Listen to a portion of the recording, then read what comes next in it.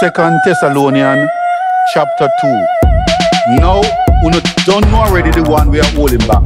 And him go go and hold him back so he can come when a film time to come. Cause one wicked sitting the boat. We are walking under the quiet because people will go against God's law. But somebody are hold it back. And the one we are hold it back, I go go and hold it till him get moved out of the way. In church, people sing many songs about the Holy Spirit, none of them more evocative than anointing fall on me.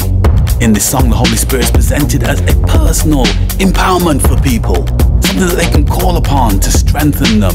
It's very personal and very individual, but this isn't the only image of the Spirit. Second Thessalonians paints a picture of the Spirit as a defensive force, restraining the evil within the world and keeping it in check. Hold it back. But somebody a hold it back. But somebody a hold it back. But somebody a hold it back. The work of the Spirit isn't just about individual empowerment, it's also about holding back the terror within this world. The Spirit is a dam against the tide of wickedness.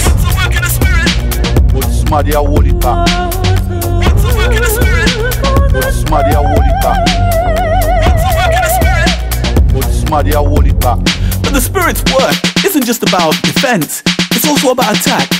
We need to take this in a different direction.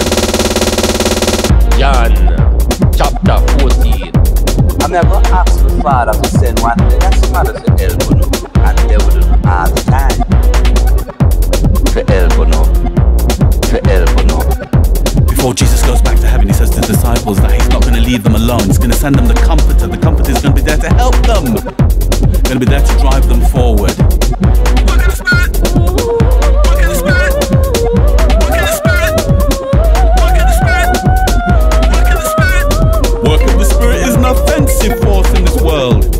People who believe in God on the attack. To mash up the forces of wickedness